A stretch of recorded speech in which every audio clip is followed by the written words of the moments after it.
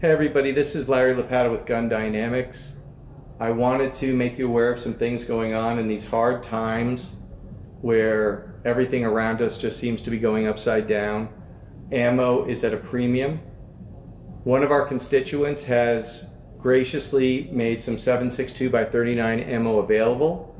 Uh, to Gun Dynamics for forward sale. We are looking to start an ammo collective. If we do well with the sales of this ammo, he is willing to give us more and other calibers.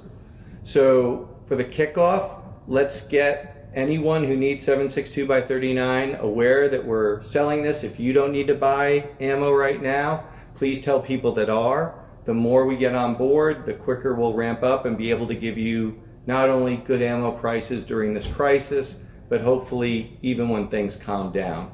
Because if we could build this collective, we are able to cut out some of the middlemen that mark up the cost of ammo.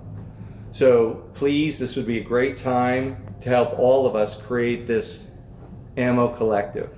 That being said, please, if you want this ammo, click the button and get on the waiting list for the pre-order. We're only going to have a limited supply and we should be coming back to you with pricing and timelines in the near future.